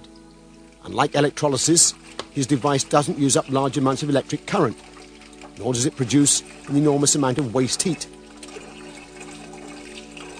For 20 years, he has been refining a method to fracture water, which produces vast amounts of hydrogen on demand. This is not his latest apparatus. He was unwilling to let us point a camera at that. This is the simple device he used to convince a reluctant patent office that his revolutionary concept actually works. Alloy rods, acting as electrodes, are housed in a perspex container that's filled with water. Normal mains voltage is fed in through a transformer, but critically, there is virtually no current consumed, less than half an amp. The result is dramatic. Hydrogen pours off with the flick of a switch. Meyer claims the key is his electronics, which pulses electricity rapidly across the rods at up to 20,000 cycles per second. In a way that's not readily apparent, this process transforms the equation. Whereas in conventional electrolysis, three times as much energy is consumed as is produced in the form of hydrogen fuel, in Meyer's apparatus, the reverse is true. It appears to produce several hundred percent more energy than it consumes. Stan has something that's characteristic of the people that sound like they've done something to tap zero point energy. Uh, has high frequency, high voltage, and there's a combination of the two at which something occurs. Uh, with Chernetsky in Russia, it was what he called a self-sustaining discharge. The tube would run by itself. When Stan gets this effect, the amount of hydrogen and oxygen that are, are emitted off these two electrodes is a step function. It almost boils the water. If I did this with standard electrochemicals, I need current, and the water should rise a degree every couple of seconds. With Stans, it'll run for a half hour, and, you, and the water temperature hasn't changed. Something's different. Meyer demonstrates this repeatedly without any difficulty, and yet on the face of it, it represents an extraordinary revolution. His measurements over the years suggest 1700% greater efficiency than conventional electrolysis. And if he's to be believed, he's getting much better results from his latest, still secret invention. Well, I first got involved with Stan Meyer when I went over there with a couple of colleagues to, to look at his water splitting device. And so we arrived at Stanley Meyer. He had a demonstration cell. We filled it with tap water. In fact, I did that myself. And he switched it on, and almost instantly there were three jaws dropped because of the, the, the rate at which the gas poured off. It was quite spectacular. Whatever energy source Stan Meyer had tapped, it was not explicable by the electric power that was going into it. So something was powering it outside of conventional wisdom. There is no question that the gas coming off in such abundance is hydrogen. Meyer ignites it to produce a high temperature flame able to cut through metal. Stanley Meyer has faced a lot of difficulties. Uh, he's three times tried to launch the device and produce press conferences, at the technical press round, but he's been almost universally slated. In the early days, very much so. They just ridiculed the whole idea. He's getting a little more notice now because some scientists are getting interested. But by and large, science is very intolerant, particularly modern science. As with Tesla, Griggs and others, Meyer's claims are so far outside the received scientific wisdom that they've been ignored by the majority of the scientific establishment. But then, Meyer has ignored them too. He has poured his energies over the last ten years into establishing recognition for his claims by getting international patents. In the processing, there was a great deal of difficulty in trying to process uh, the legal paperwork in such a way as to allow the patent office to fully understand uh, what was actually occurring. In one instant, uh, we brought the water fuel cell uh, to Washington, D.C., and of course I had tweaked it in such a way to produce an enormous amount of hydrogen oxygen gas and the patent examiner said, no, it will not work uh, based on the electrolysis process. And uh, when we turned it on and produced enormous amount of hydrogen gas, uh, the examiner finally realized that we were doing exactly that and uh, went out in the hallway and started screaming and hollering to everybody on the floor, put out all your cigarettes, hydrogen's, hydrogen's in the building. So we started laughing and said, well, we certainly convinced everybody in the patent office that we can do what we said we can do. Even so, the US Patent Office dragged their feet for three years before granting patents on the hydrogen-producing device. Since then, against massive resistance, he's managed to get patents established throughout Europe and Japan. But the hydrogen machine was only the first step towards Meyer's ultimate dream. If he gets it right, this application of his technology would change the 21st century in the same way that the Wright brothers and Carl Benz transformed the 20th. He is currently modifying a beach buggy to run on nothing but water. It doesn't have a petrol tank or even a hydrogen container. It has just a tank of water. He's invented a device called a water splitter to replace the spark plug. As the water is injected into the engine, Meyer claims it's fractured into hydrogen and oxygen and then burned as fuel. Meyer is working on a kit to modify any engine. He hopes to demonstrate it on this car within 12 months. And of course, the blessing to the use of the water as a fuel source, uh, that on combustion, the byproduct is water mist. So we're even solving the environmental pollution problem at the same time that we're using water to maintain the industrial basis of the world. Meyer is protective about his inventions to the point of self-confessed paranoia. Most observers describe him as a crank and his car as an aberration. If only a fraction of what Meyer claims for his technology can be achieved, it would represent a vindication for NASA's involvement. It would also be a powerful threat to many entrenched vested interests. If Stan Meyer's device works like he advertises, you would make energy available universally almost free. That is a major, major, major impact. When new technology comes in existence, there's a great uh, resistance to it uh, because it can affect a lot of economic factors. Uh, in this particular case, in the United States, um, we pay out roughly about $200 uh, a year for foreign oil. Uh, it's quite obvious that uh, the Arabs would pay $200 billion to try to keep this type of technology out of the economy and many, many times over the last decade, uh, I have been offered enormous amounts of money to simply to sell out or to sit on it.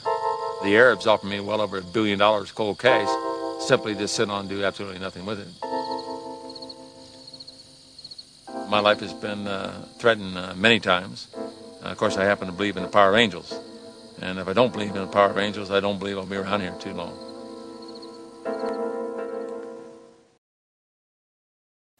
Now, um, we're going to go on more onto the cover up. I've been sort of getting into the cover up in some of these clips. Why, oh, why would anyone want to cover up cheap energy sources? How can it be covered up?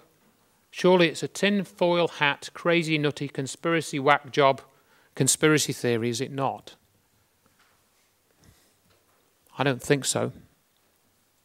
The energy industry is probably the biggest global industry of all. Oil, gas, and coal mining and prospecting are huge, expensive operations.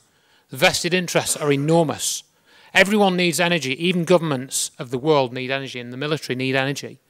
Even medium to large scale use of more conventional technologies, such as the basic electric car running on conventional battery technology, seem to have been terminated as early as possible. And if you watch the film Who Killed the Electric Car, you'll see that story laid out in 50 minutes. That's available on YouTube. Uh, the other video with John Bockris and so on is called Fire from Water. That's 50 minutes as well. Fire from Water, the one that John Bockris was in earlier on. And the narrator was uh, Jimmy Doohan, James Doohan, Scotty from Star Trek. It's very worthwhile 50 minutes of your life, that watching that video, Fire from Water. Very worthwhile. So, what did, I, what did Eugene uh, think about this? The academic uh, government complex, not not the the military industrial complex as much as the academic government complex is against new scientific ideas that threaten the foundations of their uh, work. And they, no matter how many papers are published, I don't care whether they're on the internet or not on the internet or what they, where they are, the establishment, uh, academic, government complex is brain dead. I mean, why can't they open their arms and say, this is exciting, let's try it, let's experiment, and let's jump in it? it well, it's, it's remarkable. I've, uh, um, I must tell you, George, 15 years, almost 15 years now, after that fateful day of March 23rd, uh, 1989, uh, it conti- I continue to evolve in my understanding of the uh, well, the, the emotional and psychological and intellectual armoring, uh, to borrow a term from the famous Wilhelm Reich, um, uh, that that scientists have. Uh, it's astounding. Uh, uh, uh one physicist uh, at MIT, whose name is Dr. Uh, Hermann Feshbach, one of the world's foremost nuclear physics people. now he's deceased. But at MIT, as I was finishing up my my time there as a senior person in the uh, MIT News office as a science journalist, um, he had played a role in in getting rid of a, a major article that was going of mine that was going to appear in the MIT magazine, very influential magazine called Technology Review. It's on newsstands all over the place. He said to me, I've had 50 years of experience in nuclear physics, and I know what's possible and what's not possible. And then uh, that was it. That was his total statement, which I would cite uh, forever yeah. as a a statement, a kind of statement that should never come out of the mouth of any person who considers themselves a legitimate scientist. They're not a scientist if they say, based on previous knowledge and theory that I have, I know for all time what is possible and what's not. That's obviously crazy. So this goes back to the scientific community just not wanting to accept free, the idea of free energy because they're so sure it can't be real. And that's what Mallove experienced. Doesn't matter about what the data shows, it can't be real. Now, another of the people that was uh, meant to be coming to this conference was Tom Vallone, Dr. Tom Vallone.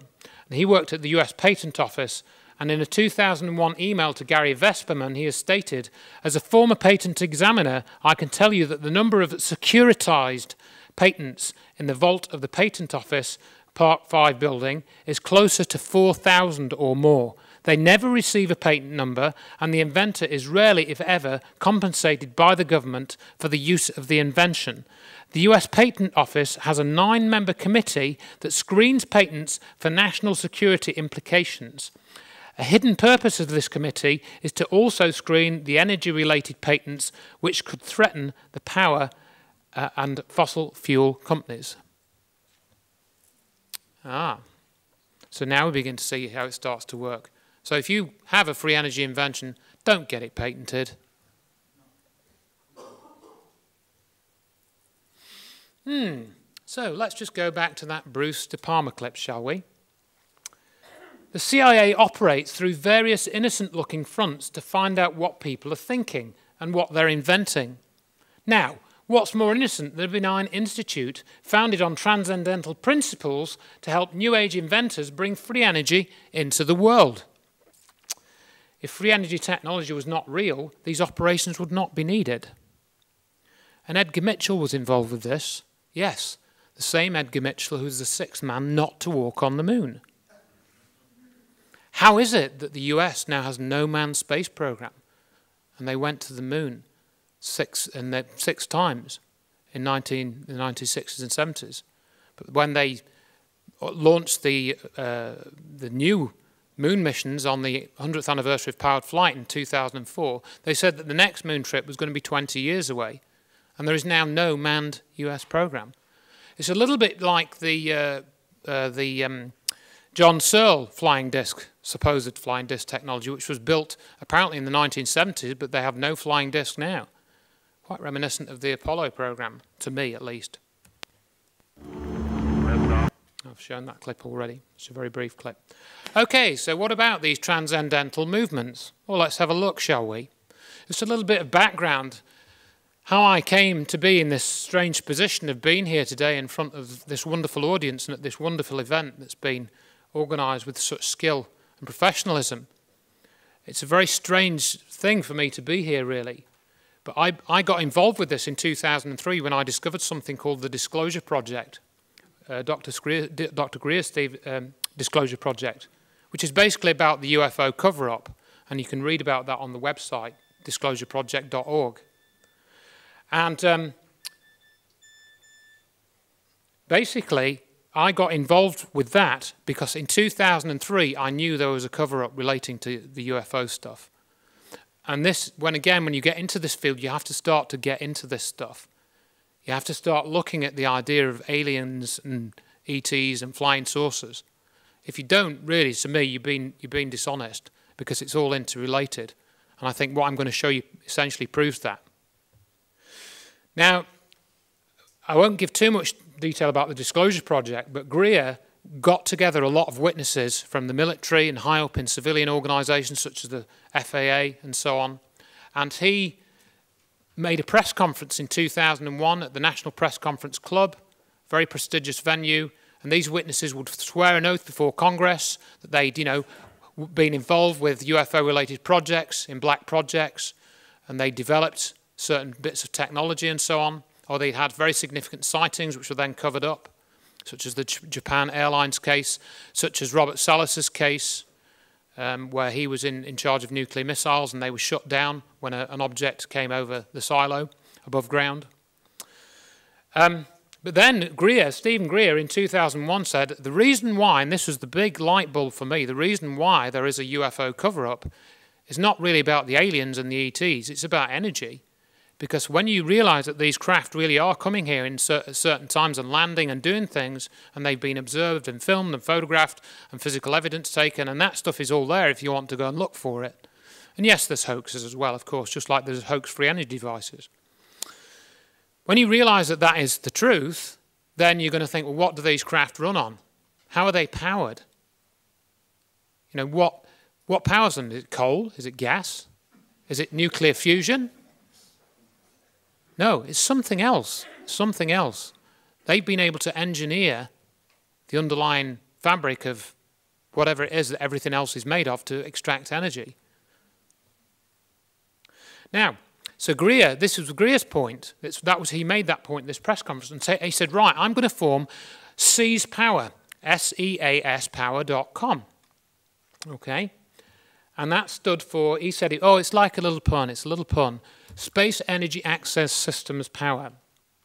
And if you went onto that website, it contained an example, for example, an agreement for inventors to sign if they had a device they were working on and they wanted to develop and market it. Because Greer's goal was, he said, yeah, well, what we need to do is get this free energy out to the world. So what we do is we get the investors and we get the inventors together, we make an agreement, we develop a marketing strategy, and boom, then we get the device out and we've got free energy. Fantastic. And I thought, top man. Top man. What a guy. What a brave guy. Fantastic. Let's get on with it. I don't know. I don't know the date. Oh, it's September 2001. I don't know the exact date, but yes, an interesting date for sure. However, we move forward to 2007. And then I was I still listen to Coast to Coast and all that stuff, you know, and Stephen Greer comes along and he says, oh yeah, he did a Google video video about an hour long, which I'll show uh, still from in a minute. And he said, I'm going to start Aero 2012.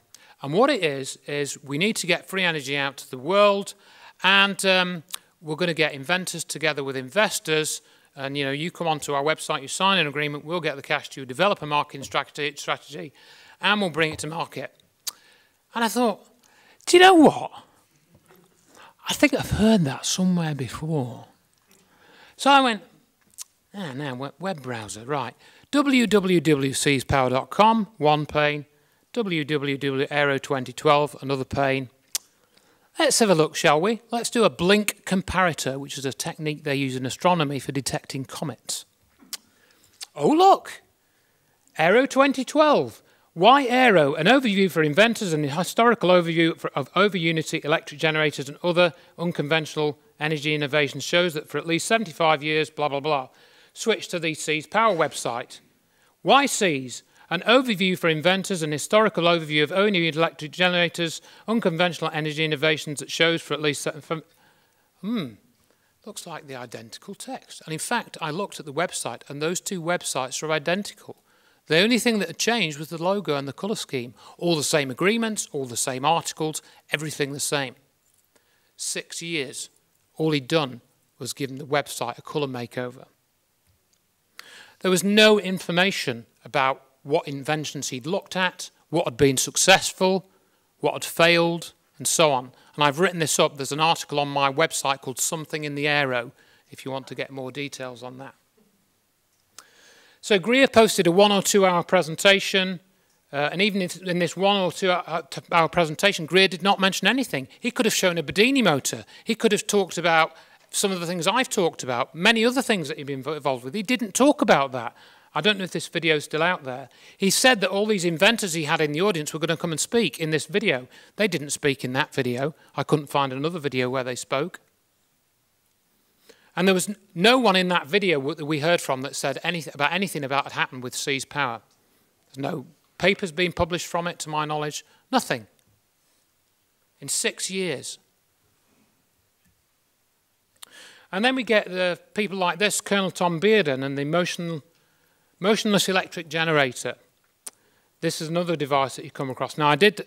Um, Tom Bearden's a very interesting character. You listen to him, and he, he, he really does appear to know some stuff. Um, and if you listen to some of his lectures and so forth, it's, you know, it's, difficult to understand, but he, he does appear to know stuff. And uh, this motionless electric generator, which is like a, an arrangement of coils, which uh, again he claimed you could get more energy out than you put in. I saw a good critique of this, and it doesn't actually appear to work when you actually break it all down. Uh, but the critique was very good. I wish I'd saved it because I couldn't find it again. But again, that's one of these devices. It looks as if it has potential, but it doesn't actually appear to work. But why I'm mentioning this is that Tom Bearden made a presentation entitled Scalar Technology and Weather Modification in 1985. 1985. Right? And he showed this slide at the bottom. It's not very clear here, but he talked about interfering beams of energy. Interfering beams of energy. And I'm thinking, hang on, this is what John Hutchison is doing. This is what happened with the World Trade Center with Hurricane Erin providing the static field and the apparent microwaving of the, the um, people in the towers to energy sources and the variations in the Earth's magnetic field indicating there was something going on with the magnetic field. That's exactly, exactly what Bearden was describing, or maybe not exactly, but something very similar. Something very similar. So you can watch that video uh, Scalar Technology and Weather Modification, I think it's called, 1985, Tom Bearden. Somebody's reposted it. And he talks about Russia having this technology. He said it was the Russians were modifying the weather at that time. But if you go and read his 2005 book, Oblivion, he supports the official story of 9 11 and says Al Qaeda did it. Tom Bearden, smart guy. He will not talk about Hurricane Erin on 9 11. He will not talk about the destruction of the World Trade Center. Oh, yes. I used to have a channel called ADJ UK. That was just the name that I used. I had about 270 videos on there, which I started in soon after YouTube started. Posted over a period of about five years. Now, all that content you can't, I can't get because my channel was made inaccessible thanks to two copyright violations by, filed by Energetic Productions LLC.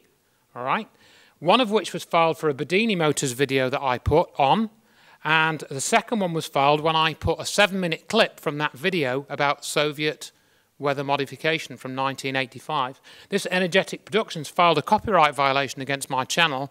I'd previously had one for a BBC clip, and with YouTube, it's three strikes and you're out. Uh, so I'd had one from about 2006 or something from some clip I'd posted. Somebody had, and I'd, I'd taken that clip off.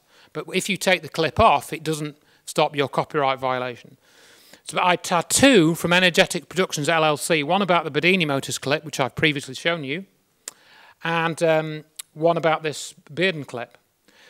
And I found out that uh, Energetic Productions LLC is the, web, is the company which backs Cheniere.org which is Tom Bearden's website, and it sells the DVDs about Tom Bearden's research. And this is run by a chap called uh, Tony Craddock. And I, so I found three email addresses for Tony Craddock and his company, and I emailed him saying, look, I'm sorry you got upset about me posting that 10-minute clip from your 20-year-old video, which is about the, you know, I think is relevant to how the World Trade Center is destroyed. But if I, you know, if you give me back, if you withdraw your copyright violation, uh, I'll delete that clip for you and hopefully I can get my other 270 videos back. And I sent him three emails to different addresses, never heard a thing from him, never heard a thing. And this, is, this guy works with Greer. And guess what? Craddock.biz states that he is founder, president, and CEO of Anthony uh, Tony Craddock, and he has, um, he has 40 years' experience in the international petroleum industry. Yet he's marketing these DVDs about Bedini Motors and Tom Bearden. And he wouldn't let me have my little tiny little YouTube channel back.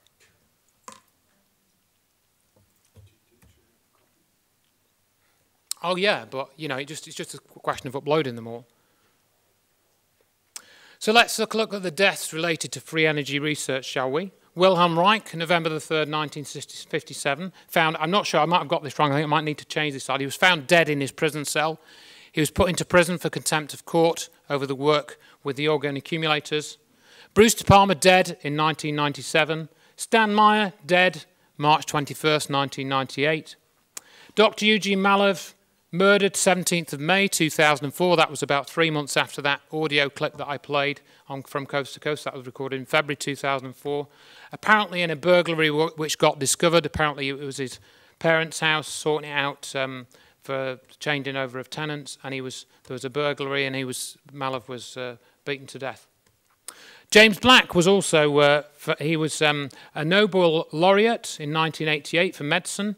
He attempted to sue the US Canadian government over their actions against John Hutchison's research, and he was found on his bed in his apartment. The autopsy described it as a natural death, a possible heart attack. At the time of his death, he was 51 years old. He was born on the 21st of November 1951 in perfect health. He had never had any heart problems. Ari M. de Geus he was dead on November the 11th, 2007, inventor of a revolutionary self-powering battery of AMDG Scientific Core, was found slumped in his car, totally unresponsive, in the long-term parking of uh, the Charlotte Airport, I think that is. And here we have another tragic uh, link to what uh, has been going on here. Uh, Dr. Eugene Mallove worked with another chap called William Zebuhr on the New Energy Research Foundation. And William Zebuhr had uh, a nephew, uh, and his name was Michael Zebuhr. And he was murdered in a mugging um, on March the 19th, 2006. And Michael Zebuhr was Dr. Judy Wood's student. And they were putting together information about 9 11. A little more on the death of Bruce De Palma. Uh, De Palma's death in New Zealand in October 1997 put an end to his most ambitious free energy project and occurred only weeks prior to the official testing of a device constructed during six months in the Auckland workshop. This test was attended by, among others, the project's financial backer, Bruce Bornholt, a prominent Wellington barrister, as well as the pioneering developer of the Adams motor. Robert Adams, now deceased, who observed the operation of and measured electrical output from the N machine. The test demonstrated no over unity potential of the N machine. And most of the output was lost as heat and the project was abandoned. Careful if you're using the projector, please. Stan Meyer's death. After more than 20 years of research and tinkering, Stanley Allen Meyer and his brother and two Belgian investors raised glasses in Grove City, Cracker Barrel on 20, uh, March 20th, 1998. Um, he took a sip of cranberry juice, then he grabbed his neck, bolted out of the door, dropped to his knees, vomited violently. I ran outside and asked him, What's wrong? Stephen called, This is his brother. He said, They poisoned me. And that was his dying declaration. Um, so again, it ended. Uh, his, his, his research never went forward from that, that, from that point. If Stephen Meyer was shocked by his twin brother's collapse and, de and, death, he was equally amazed at the Belgians' response to the next day. These were the people that were meant, to be these investors. I told them that Stan had died, and they never said a word. He recalled absolutely nothing. He, he uh, no condolences, no questions. I never ever had a trust of those two men ever again. Obviously not. So, how do we get access to free energy devices?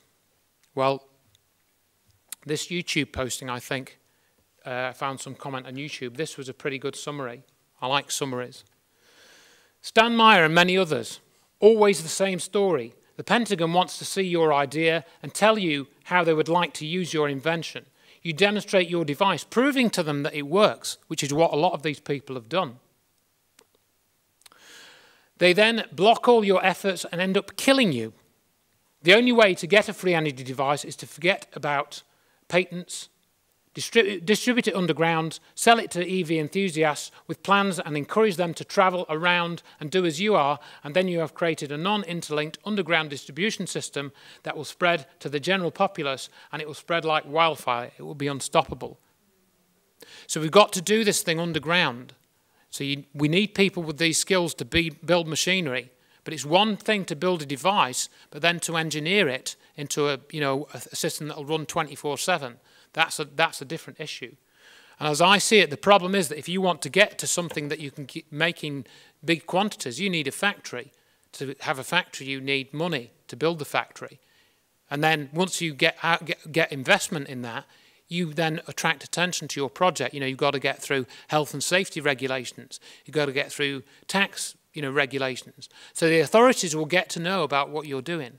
And that's when they shut you down. That's when they either, they'll either send in the lawyers or they'll freeze all your bank accounts somehow or they'll come out with some dirt and stop you earning a living, whatever they can do. And if those things don't work, they'll kill you. That's, that's the situation that we're in. But the biggest thing which the free energy movement won't talk about, and I'll prove that it won't talk about, is this, which you saw yesterday and Friday. Just a very quick two or three slides. This is a new technology at work. This is energy technology which the people that Eisenhower was referring to, the secret group, whoever they are, they know about this. Where did the buildings go? They were turned to dust in 20 seconds, 10 seconds each, less than that. I'm not going to go through all of this, of course. No appreciable heat. Stan Meyer's cell, no appreciable heat. Cold fusion, very little heat. Unburned paper. What technology can do this? What kind of destruction can do can happen? Like this with no appreciable heat.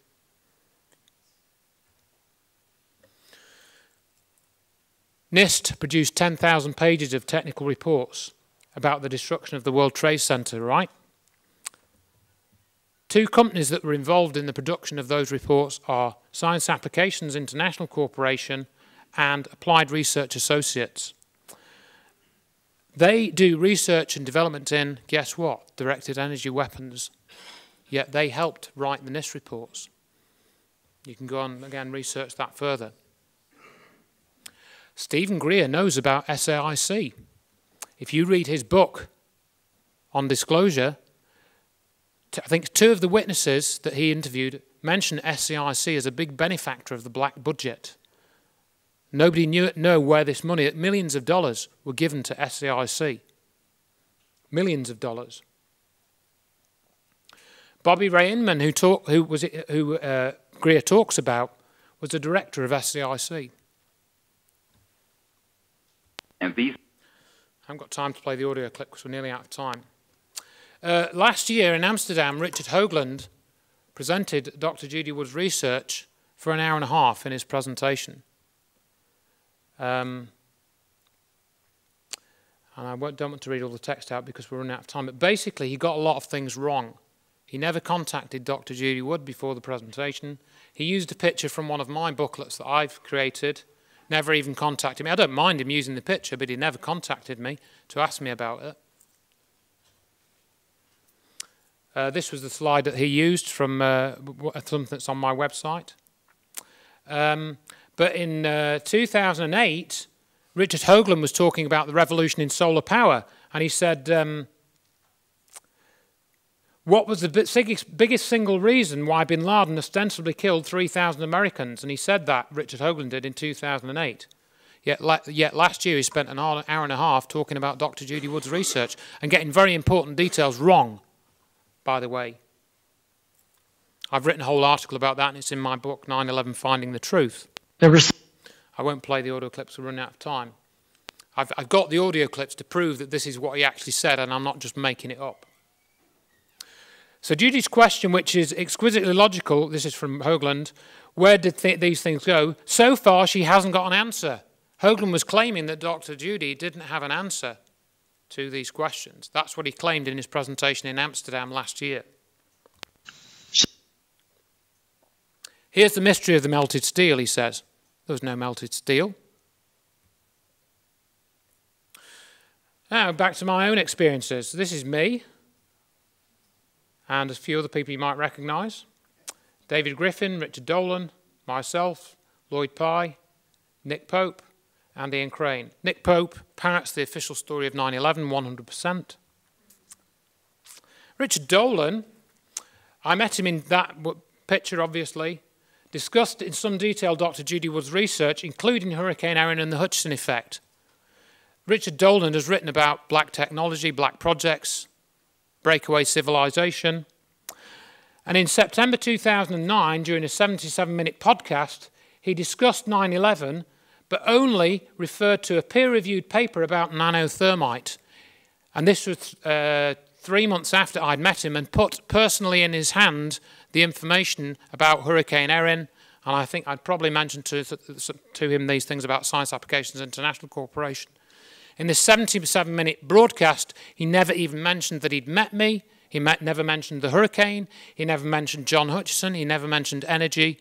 All he said was that nanothermite can, is totally integrated with itself, and that's what was used to destroy the towers, according to this uh, paper that had been done by these physicists. And again, I've written about that paper as well that he refers to. Um, Yeah, so I've got all that text. That's a text from what he actually said, and I've got the audio clip, but nearly up oh, to time now. Nearly up to time. Um, yeah, so various things that he said. Again, he got them wrong. Um, but with Judy, this one. Uh... Okay, so I've got various audio clips. Right, so I just want to finish up with this. We're hostages to the technology which destroyed the World Trade Center. What we see when we you know, this is from the UK. We've reduced our fuel emissions. That's a lorry load off your mind. They've made it streamlined. This is Marks and Spencer's. This is what we get. This is what we get, this rubbish about climate change, and it's all a scam. Cancer, it's a scam. Energy, it's a scam. All of it. It's all a scam. They create a mindset by putting all this rubbish out in the media and creating these mindsets that, that, that we're then imprisoned in.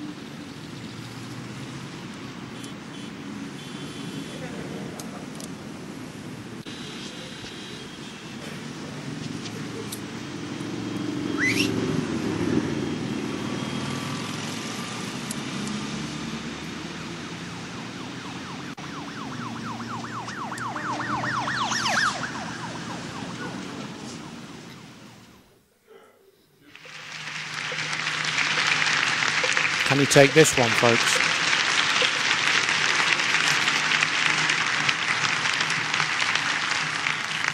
Our projections show that by the year 2025, not only America, but the entire planet will be under the protection and the dominion of this power alliance.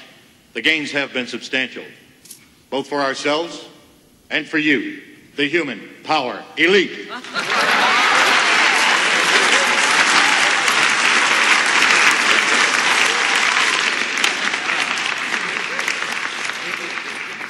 You have given us entree to the resources we need in our ongoing quest for multidimensional expansion. And in return, the per capita income of each of you here tonight has grown, and this year alone, by an average 39%.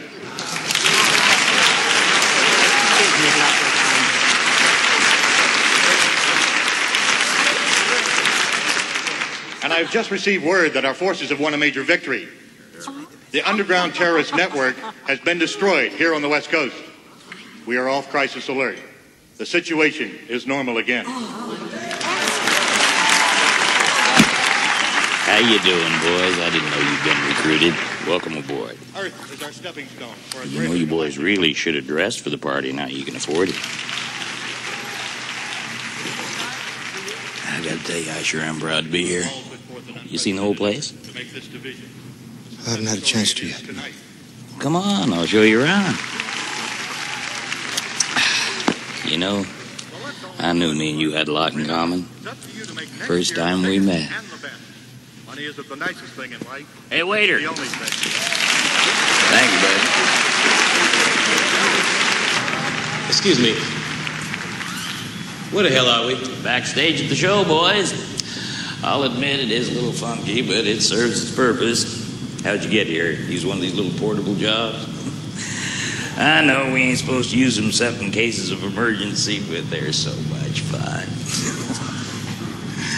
now, you think that's something, take a look at this. Go on, take a closer look. Attention commuters. Flight Alpha 7 to Andromeda is now ready for boarding. Please step to the transmission That's platform. where we come from. All carry-on luggage must be held securely. Thank you for waiting, and we hope you have a pleasant trip.